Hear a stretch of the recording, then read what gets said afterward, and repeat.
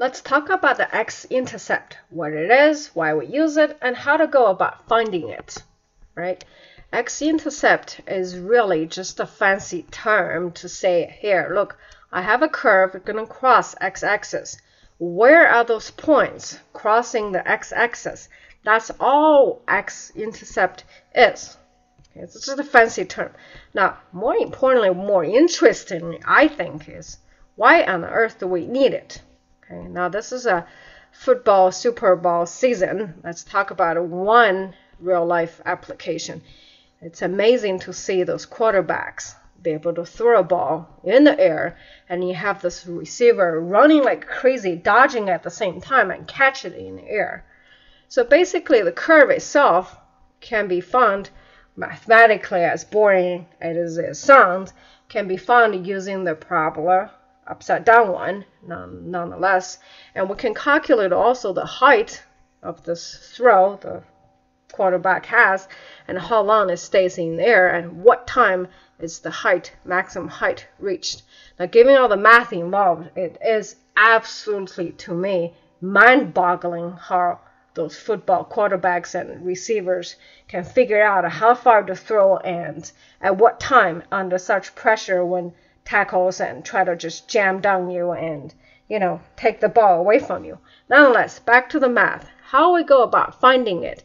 Well, this is the tedious part. Nonetheless, there's a variety of tools. As I said before, x-intercept. It's a simple curve. We're looking for where it crosses x-axis. And what do you know? When the curve crosses y-axis, it's called a y-intercept. Not much surprise there. The vertex is the lowest part or the highest part if the curve happened to be turned upside down. Uh, of course, to graph this curve, we can do point by point, but boy, wouldn't that be tedious? Okay, and then we can factor it. I'm sure you've learned that by now, or this long, tedious quadratic equation x equal to minus b plus minus b squared minus 4ac over 2a, or we can use complete square. I know a lot of students, I don't know about you out there, uh, do not like this complete square. It's almost a four-letter word to them. Um, hopefully by end of this session, you'll have a little bit better idea. But let's uh, let's go on to example. I really firmly believe the best way to learn any concept is through example. You Take a look at how the concepts are used. Here I'm asked to find x-intercept for a very simple, straightforward quadratic equation. Now before we get on, let's talk about this quadratic. Let's have some idea what it looks like. Since the coefficient in front of x squared is positive, that means it curves up. So if you were to stand up off your chair and have your arm facing upward but to touch top of your head, that's what this curve look like. That's called concave up. It's just a mathematician's funny, fancy way to say the curve goes upward. All right. Of course, if the coefficient is negative, then you'll be drooping downward. Okay. Curves up, and it's a second order. Means it's not a line. It's a curve. So here's I have a simple curve. Since x-intercept, as we said earlier, it's just a fancy way to say, well, where does it cross x-axis? That's all they're saying. So of course, I'm going to use the most uh, boring method there is. I'm not going to factor. I'm not going to try to do anything fancy yet. I'm just going to go on out there and plug it back in. So my coefficient in front of x squared is 1. My coefficient in front of x is minus 2. And constant is 8. It couldn't get any easier from here onward. I'm just going to plug it in. Now, here is where the trick comes in because I found this one on the test from one of my students. The teacher put on there, of course, with a little trick in mind to see, can I trick you this? Can I trick you this or not? But hopefully after this one, he or she won't be able to trick you. Now notice inside the quadratic equation, I have a 4 minus 32. As you know, 4 minus 32 less than 0. So inside quadratic such number is not a real number. Mathematicians don't have any more words. They call it imaginary. What on earth does that mean in my curve? You know, how does imaginary comes in the picture? What really happens in the curve when you have an imaginary, that's really just a fancy way to say, look, the curve does not cross axis. Nothing special, nothing tricky. It's just mathematician to say, you know what? It's an imaginary crossing. It's not going to cross axis. That's all it's saying. All right. So our curve, uh, the test exam does not cross x-axis. So on the test exam, you can see it does not cross. It does not have x-intercepts. That was the perfect answer, and that was the trick. All right. Now, for those of you out there wants to know, hey, what about this special point? What about y-intercept? Since we know there's no x-intercept, well, since I can't have any x-intercept, maybe I can find at least one interesting point on this curve. How about a y-intercept?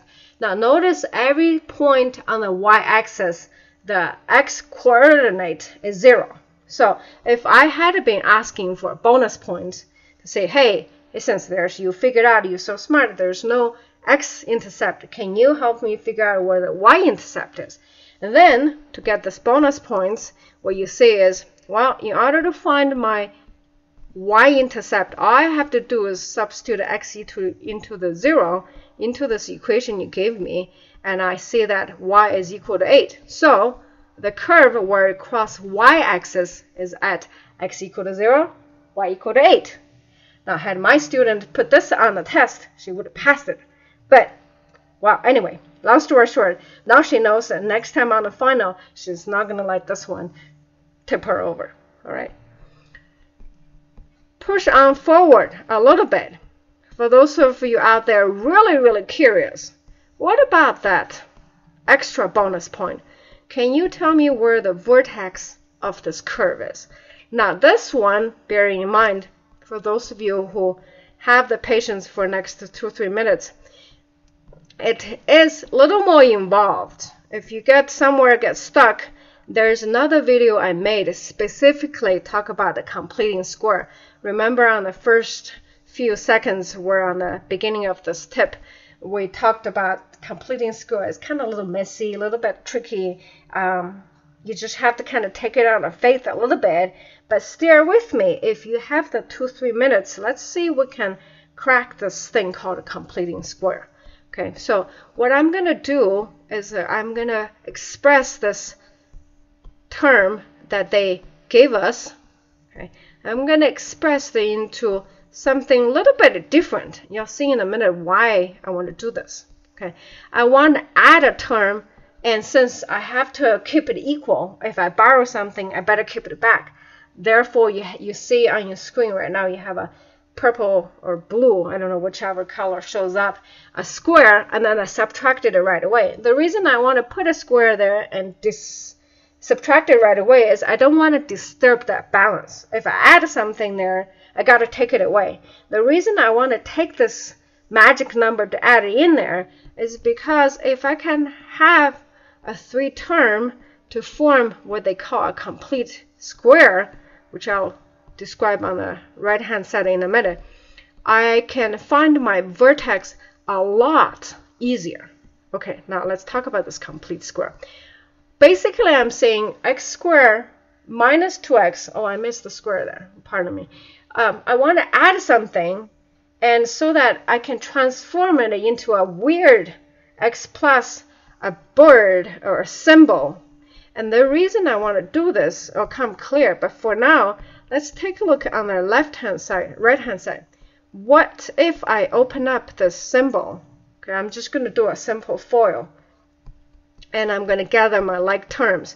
And for those of you who know the answer already, bear with me. Let me get through this math part. Okay, so on the right hand side, if I were to open this up, I'll end up with x squared minus 2 times this weird symbol, look like a bird, times x and then plus this weird symbol squared. The reason I want to do that is I want to use that form and compare it to my form of x squared minus 2x plus this weird symbol. Let's see if I can. Oh, there, I put a square back there. Now, my first term match. Voila. In the second term, I'm going to take the q or clue to say minus x for the minus x equal to minus 2 times this weird symbol times x my symbol has to equal to 1, right? Just bear with me for a little while. If my symbol equal to 1, then that magic number I'm looking for, the question mark in the square, has to be the symbol squared. Okay, so I have 1 here for my case. Phew. Okay, so basically I'm saying, look, if I want to transform x squared minus 2x plus this magic number into a complete x minus bird, I can parenthesize it together and square it.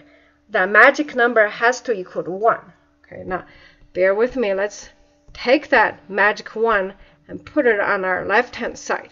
If I were to put it 1 inside that symbol, once again, I have to subtract it 1.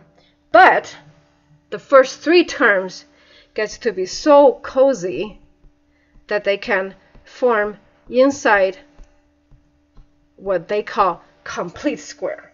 Okay, so a complete square, all they're saying, look, can you go find that magic term so that my first two terms add with this magic number can be expressed in an equivalent form of a different form. If you can find that number, you're already completed square. Now, why on earth do we do this much work just to find one number? And, you know, for this case, it happened to be 1. It seems to be such work. Well, if you can get into that form, now notice this form. If x equal to 1 in this form, you notice how the square term just kind of magically disappears. The reason I want to make that square term equal to 0 is because that term, because it's squared, it's always positive. There's nothing I can do to make it any less than 0. So if I make it a 0, then my y becomes 0 plus 7 and that becomes the lowest point on the curve. Okay, I hope this makes sense. If it doesn't, look up another video I made just on the complete square form. Um, but bring back to this picture, when x equal to 1, y equal to 7 is where my lowest point on the on the curve, thus it's my vertex. So given that point, now I have my curve completely defined. I have 1 and 7 as a vertex and 0 and 8 concave up. There's my curve. x squared minus 2x plus 8. Of course, you can always do point by point. Boy, wouldn't that be a lot of work? Okay, so this term, if you were to drive in a different form, it's x minus 1 parenthesis square plus 7. All right, I hope this is not too uh, tedious for you. And um, once you can rewind a couple times, see if that makes sense. Like I said, if it doesn't, look up that completing square video. All right, hope this one helps. Hi, this is Dr. Pan recording from Tucson, Arizona. Please share or comment on this video. Together, we can make math easy again.